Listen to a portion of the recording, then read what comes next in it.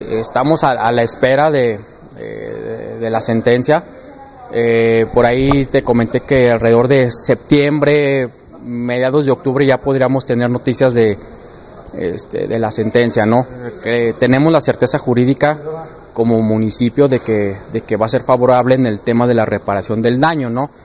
Y en, el tema de lo que está solicitando la representación social, que en este caso es la Fiscalía a través del Ministerio Público, pues el tema de, de, la pena corporal que, pidió el MP, ¿no?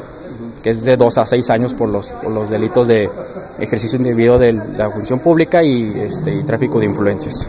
La semana que entra eh, ya tengo cita para, ir a ver ese tema.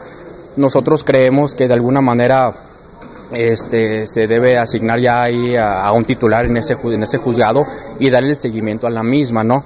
A final de cuentas, insisto, ya el, tema, ya las etapas procesales que se tienen que llevar a cabo ya, ya no da para más, la audiencia final y la emisión de la sentencia. Entonces creo que ya es cuestión de tiempo de, insisto, de octubre que salga la sentencia. Pero no, nosotros no vemos, no vemos inconveniente de, que ya no esté la, la, juez y eso implique este, se alargue más, no, no, no vemos eso lo que estamos pidiendo como reparación de daño, 3 millones 400 mil pesos. ¿A qué se destinarían? Mira, primero... Primer, municipio, sí, sí, sí, entran directamente a las arcas del municipio a través del área de finanzas y pues ese dinero pues ya se, ya se verá cómo se asigna, ¿no? A fin de cuentas eh, es dinero municipal y se asignará a un tema de, de, alguna prioridad, ¿no? No es poco, simplemente creo que ha ganado más Martín con la renta a, los locales que ha hecho de esos terrenos. Mm. Sí, mira, más allá de definir si es poco o es mucho, es lo que de alguna manera la ley nos permite, ¿no?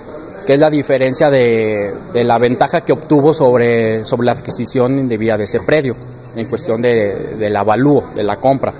Entonces, eso es lo que, nos, este, lo que nosotros legalmente podría, podemos solicitar, ¿no? Los 3.400.000.